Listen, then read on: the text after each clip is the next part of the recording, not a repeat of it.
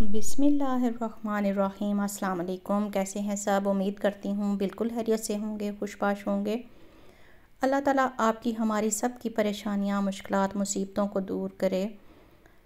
आज का व्लॉग है हमारा मार्केट विज़िट किया तो आपके साथ शेयर कर रही हूँ कि मार्केट में क्या कुछ नया आया हुआ था। ये थे हॉकर। बहुत ही प्यारे, आप देख सकते हैं कि किस कदर खूबसूरत इनको इनकी जो है लुक है। तो मुझे तो बहुत ही प्यारे लगे। दिल तो यही कर रहा था कि फ़ौर से उठा लूँ और घर ले जाऊँ। लेकिन ऑलरेडी घर में इतनी चीज़ें हैं कि पहली चीज़ें उठा उठा के उनको रखा जाता है कि थोड़ी सी स्पेस खुली लगे। तो इसके अलावा यहाँ पे रमज़ानुल मुबारक की भी काफ़ी सारी चीज़ें आई हुई थी। तो इस स्टोर का नाम वूलवर्थ है और वूलवर्थ में अक्सर बहुत ही प्यारी चीज़ें आती हैं। अब रमज़ान से रिलेटेड उन्होंने काफ़ी चीज़ें रखी हुई थी। शाबान का महीना, जैसे कि आपको पता है कि शुरू हो चुका हुआ है। तो इन लोगों को भी इस चीज़ की अवेयरनेस है कि मुसलमानों का एक त्यौहार है, जो कि मुसलमान बहुत ही एहतराम के साथ उसको मनाते हैं और रमज़ान शरीफ को बहुत अच्छे तरीके से हम लोग सेलिब्रेट करते हैं, रोज़े रखते हैं। तो उस लिहाज से यहाँ पे बहुत ही प्यारी रमज़ान और मुबारक की चीज़ें आई हुई थी। इसके अलावा ये कुछ कैंडल्स थी, बहुत ही खूबसूरत, ये भी आपके साथ शेयर कर रही हूँ। और कैंडल्स वगैरह देखें आपके किस कदर मुख्तलिफ़ उसमें मिल जाती हैं स्टाइल्स में यहाँ पे। तो वासिस बहुत ही खूबसूरत और रीज़नेबल प्राइसेस पे लगे हुए थे। मतलब कि बहुत महँगे नहीं थे, आम यूज़ के लिए आप इस तरह के वासिस ला के रख सकते हैं। और ग्लासेस की कुछ नई वैरायटी आई हुई थी और कुछ यहाँ पे वूलवर्थ वालों ने, यहाँ के स्टोर्स वालों ने हमें एक दिया हुआ था सहूलत कि अगर हम फोर्टी यूरो तक की शॉपिंग करेंगे तो हमें कुछ परसेंट उस पर ये लेस कर देंगे। जिस तरह के देखें, अब ये लिखा हुआ है कि सेवेंटी फाइव की अगर हम शॉपिंग करें तो टेन यूरो की हमें यहाँ पे वो कंसेशन दे देंगे। तो इस तरह की डील्स भी यहाँ पे इन स्टोर्स पे लगती रहती हैं। तो मुझे तो पर्सनली ये वाला स्टोर बहुत ही अच्छा लगता है। और प्राइसेस भी यहाँ पे बहुत ज़्यादा कोई हाई नहीं होती हैं। केक की ये वाली ट्रे थी, यहाँ पे बहुत ही खूबसूरत लग रही थी ये भी। मेरे पास तो ऑलरेडी सेम इसी तरह की है तो मैं भी लेके आई हुई हूँ। यहीं से मेरा है मैंने भी परचेज़ की थी और काफ़ी साल हो गए हैं, अभी भी मेरी बिल्कुल वैसे ही सेम चल रही है। तो लेके आई थी मैं एयर फ्रायर तो उसको अनबॉक्सिंग करने लगे हैं और दिखाते हैं आपको। तो मेरी जो बिल्ली है, वो उसको बहुत शौक़ होता है कि जब भी कोई नई चीज़ आए तो सबसे पहले उसका दिल करता है कि मैं ही देखूँ कि इसमें क्या आया है। बिल्लियों को एक अपना तजस होता है। और अब आप देखें कि कैसे उसका दिल कर रहा है कि मैं जल्दी से इसको देखूँ कि इसके अंदर है क्या। तो बहुत ही क्यूट हमारी ये बिल्ली है। देखें आप भी हमारे साथ के हमने जो एयर फ्रायर परचेज़ किया है वो कैसा है। तो हमें तो ज़्यादा मज़ा आता है कि जब भी हम किसी चीज़ को अनबॉक्स करते हैं तो सबसे पहले हमारे बिल्ले का दिल करता है कि हम, मैं इसमें घुस के पहले देखूँ कि इसके अंदर है क्या।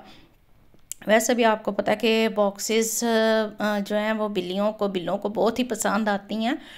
तो इसी तरह से इसको भी ये बहुत ही पसंद आता है, लेकिन सबसे प्यारी चीज़ जो एकदम से मुझे महसूस हुई कि जैसे ही इसका कलर बॉक्स का ग्रीन था, इसको ऊपर हमने बिठाया तो इसकी आइज़ का कलर रिफ्लेक्ट हुआ कैट की आँखों में और वो बहुत ही प्यारी, खूबसूरत ग्रीन आँखें हमारे बिल्ले की बिल्कुल ऐसे हो गई थी।